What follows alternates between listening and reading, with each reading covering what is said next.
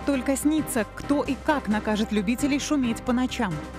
Рука утопающему, когда в крае увеличится число отделений паллиативной помощи. С нуля алтайские целинники сегодня отмечают юбилей освоения залежных земель. Итак, наши новости начинают работу в эфире. В студии Евгения Доровская. Здравствуйте. Нарушителей общественного порядка ждет реальное наказание. Алтайские депутаты сделали еще один шаг к тому, чтобы за ночной шум штрафовали. Этот законопроект стал сегодня одним из главных на февральской сессии законодательного собрания. Подробнее об ее итогах расскажет Анастасия Дороган. Покой жителям края пока только снится. Закон о тишине есть, ответственности нет. Дело в том, что по закону протокол наказания хулиганов могут составлять лишь представители муниципальной власти, а не полицейские. Сегодня право на оформление такого документа передали краевым чиновникам, которые, в свою очередь, подпишут, наконец, соглашение с МВД вызывая э, при э, ночных шумах, скажем так, нарушение тишины ночью либо в иное время запрещенное, да, э, сотрудника полиции, реакция будет моментальная. Приезжает сотрудник полиции, он уже может составить протокол, и виновник будет наказан. Еще одна старая проблема – безнадзорные животные. Депутаты повысили годовой бюджет для отлова, содержания, вакцинации, стерилизации зверей до 8 миллионов рублей. Но воспользоваться этими деньгами смогут не все, а лишь в тех селах и городах, в которых есть пункты содержания животных, где звери приходят в себя после процедур. Я подчеркиваю, ни один на сегодняшний день муниципалитет не имеет места содержания. Мы поймали собаку, куда ее? В кабинет главе села? Этих нормативных документов нету, поэтому те средства, которые выделяются, они не осваиваются. Муниципалитеты на сегодняшний день от этих средств отказываются. Эти нормативы, где содержать собак сколько дней, должна прописать Госдума. Краевые законотворцы намерены участвовать в разработке. Также сегодня депутаты официально исключили из списка на капремонт почти 200 домов, в которых меньше пяти квартир. Они вряд ли бы дождались своей очереди. Это дома которым э, не один десяток лет. А, значит, по ним э, будем искать способы, каким образом, то есть э, будем ремонтировать. Вот. Но в данном случае это необходимо, потому что очевидно, что до 43 года у нас эта программа рассчитана. Наверняка они не успеют то есть, аккумулировать, накопиться то есть, необходимые средства для проведения капремонта. Для таких домов обещают придумать свою программу поддержки. А жильцы, которые решили копить деньги на капремонт на своем спецсчете, будут ждать перехода от общего котла рекоператора не год, а полгода. Депутаты полагают, что такие темпы ускорят процесс обновления домов. Анастасия Дороган, Николай Шелком. Наши новости. А в Михайловском районе депутаты местного совета пытаются отменить подскочившие тарифы на тепло. Напомним, в начале года одновременно с другими муниципалитетами в районе выросла стоимость услуг ЖКХ. Особенно сильно это отразилось на отоплении. Тариф вырос примерно в полтора раза, что сильно ударило по кошельку жителей. В среднем вместо двух тысяч за двухкомнатную квартиру им теперь приходится платить по 4-5 тысяч в месяц. Недовольство жителей дошло до депутатов районного совета, и они приняли решение отменить повышение тарифов. Но, кстати, в ноябре прошлого года они же постановили эти тарифы повысить. Впрочем, глава Михайловского района считает, что шансов на обратное решение нет. По его словам, стоимость одной гигакалории и так долгое время оставалась заниженной по сравнению с реальными расходами энергетиков.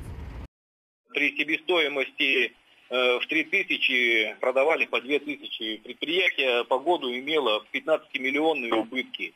На сегодняшний день 3,086, который тариф непосредственно, и он не покрывает всех убытков предприятия, так как в данный момент себестоимость той же гигакалории обходится в пределах 4 тысяч. Он также отметил, что районная прокуратура подтвердила законность повышения тарифов. Чтобы хоть как-то уменьшить расходы, жителям района предлагают обращаться в службу соцзащиты для оформления субсидий. В то же время депутаты обратились с ходатайством к главе региона с просьбой помочь дотациями михайловским тепловикам. 200 тысяч жителей края страдают от сложных генетических нарушений. Сегодня в мире отмечают День редких заболеваний. Из регионального бюджета на лечение в прошлом году выделили 200 миллионов рублей. В этом году сумма уменьшится в 4 раза. В бюджете региона заложено всего 50 миллионов. 22 пациента, которым требуется дорогостоящее лечение, возьмет на себя федеральный бюджет. Это будет стоить 170 миллионов.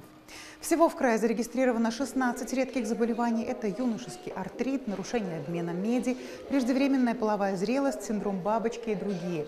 И только треть больных – взрослые. Они, как правило, страдают от серьезного нарушения обмена веществ и нуждаются в специальных продуктах. Остальные пациенты – дети. Все заболевания, одним словом, можно сказать, что это генетические заболевания, это генетические поломки в разных областях э, организма. Хочу сказать, никто у нас не остается без внимания. Все, кто входит э, э, в регистр Министерства здравоохранения Алтайского края, все они получают какое-то лекарственное обеспечение в обязательном порядке. Теперь каждый, даже неизлечимый больной, будет иметь право на медицинскую помощь не только в стационаре, но и у себя дома. Это стало возможным благодаря новому законопроекту о совершенствовании паллиативной помощи в России, который одобрила Госдума на прошлой неделе. В Алтайском крае в паллиативной помощи нуждается почти 10 тысяч человек, но медики доходят далеко не до всех. Как будет работать новый закон в регионе и чем помочь всем, кого уже нельзя спасти, расскажет Валентина Аскерова. Видите как? Дефицит жидкости однозначно. Вот здесь она болтается. У половины неизлечимых больных в край рак. Пациенту на этой кушетке, назовем его Сергей, полтора года назад поставили диагноз рак желудка. Сделали операцию, не помогло. Теперь раз в месяц, а то и чаще, пожилой мужчина вынужден приезжать из Заринска в противоболевой кабинет барнаульского онкодиспансера. В родном городе таких пока нет. Мне сказали там, мы ничем вам помочь не можем. Наш хирург.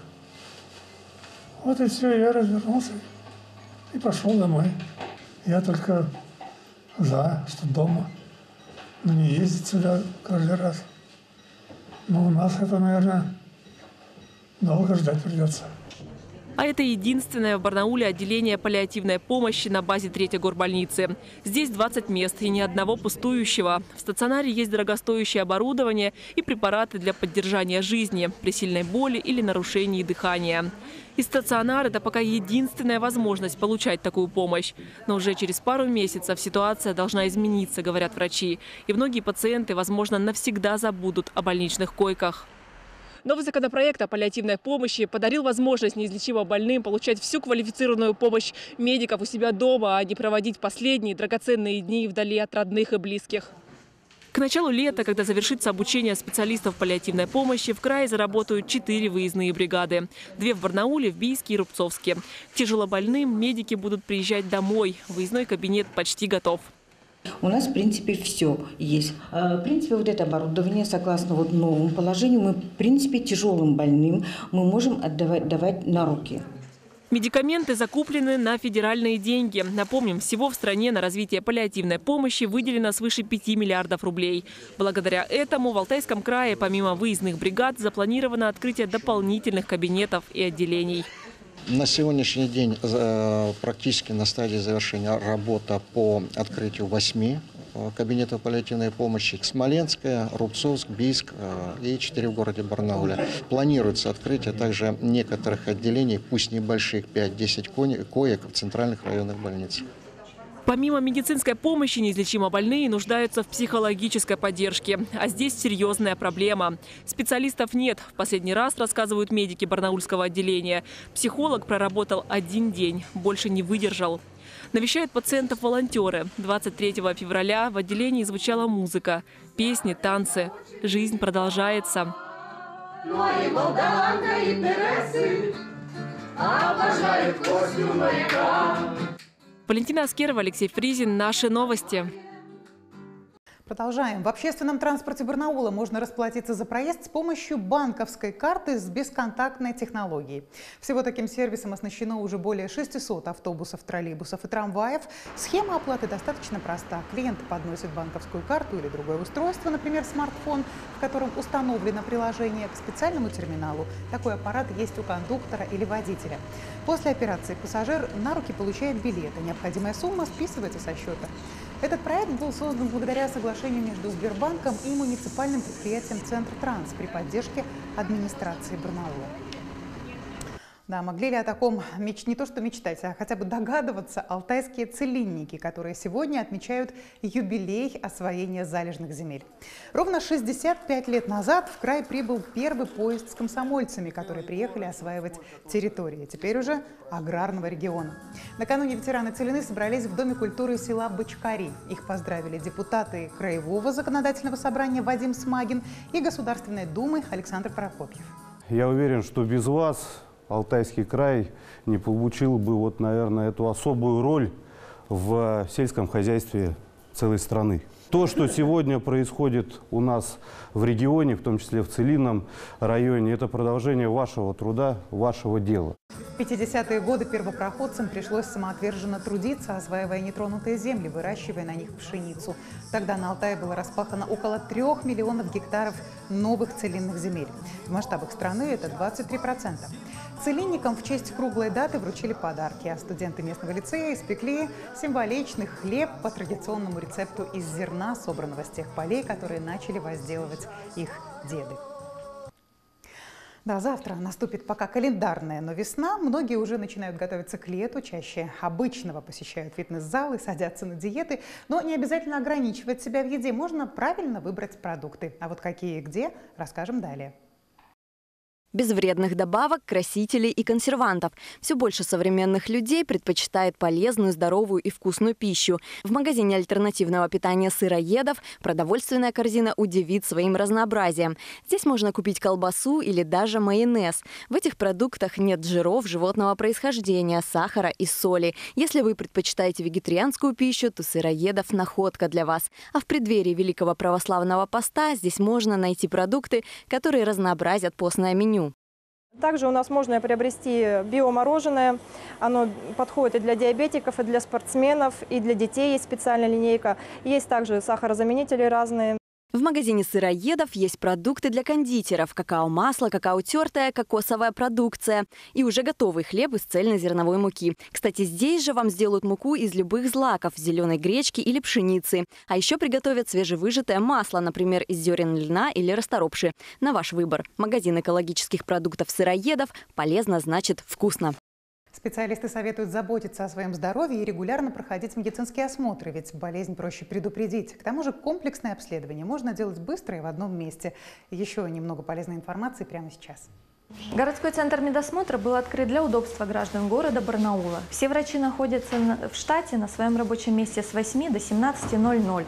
В какое бы время вы к нам не подошли, утром, в обед или вечером вы сдадите все свои анализы, пройдете всех специалистов за один свой визит. Здесь вы можете пройти комиссию на санитарную книжку, оформить справку на права категории АБЦДЕ вместе с ЭЭГ, справку на владение оружием, справку на север, справку на трудоустройство и пройти профосмотр по приказу 302Н. Медицинский осмотр работников – это лечебно-профилактические мероприятия, направленные на выявление э, нарушения состояния здоровья работника и медицинские противопоказания к работе.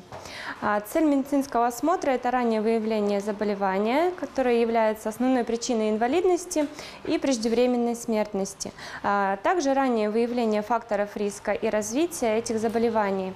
А также хотелось бы сделать акцент на водительские права. Многие приходят отягощенными заболеваниями, боясь, что это станет препятствием к дальнейшему вождению.